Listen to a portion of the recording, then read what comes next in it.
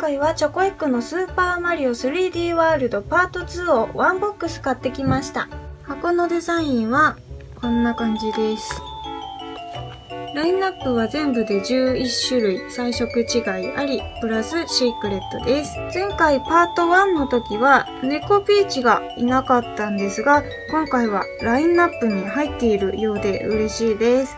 あと今回は赤い妖精ちゃんが入ってるみたいです。狙いは猫ピーチかこの妖精姫ですね。狙っていきたいと思います。それでは早速一つ目開けていきます。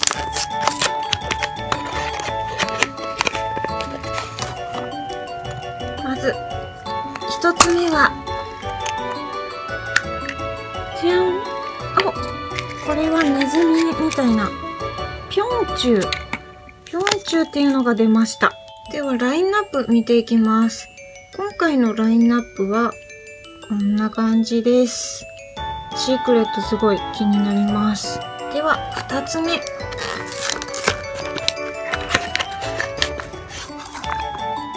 二つ目は、はあ、早速、かぶっちゃいました3つ目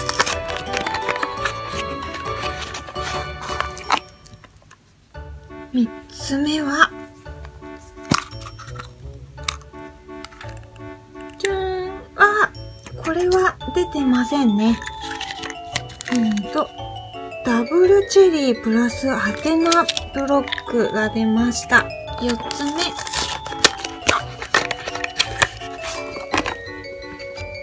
4つ目は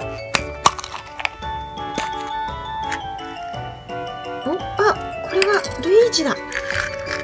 ルイージが出ました。5つ目。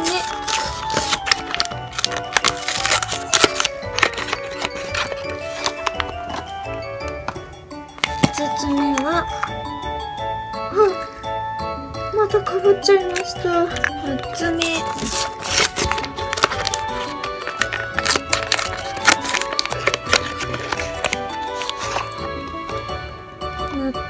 は、あ、や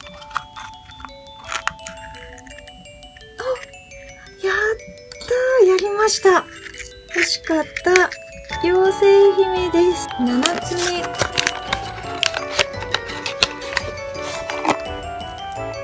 7つ目は、これは、フレッシーが出ました。8個目。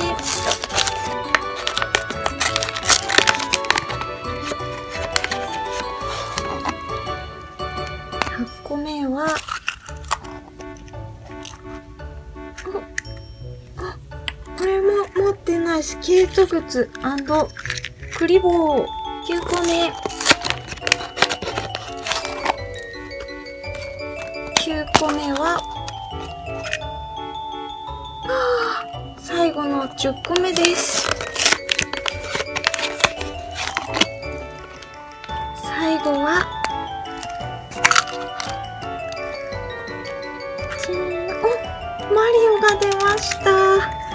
回ワンボックス開封した結果はこの7種類が出ました。3体は残念ながら被ってしまったんですが私にしては今回はいい結果だったと思います。狙っていた妖精姫も出てくれたんでよかったです。これからまた揃えようとすると被りも多くなってくると思うとちょっと怖いですね。次はまだ持っていない猫ピーチを出したいと思います。それでは今回はチョコエッグのスーパーマリオ 3D ワールドパート2でした。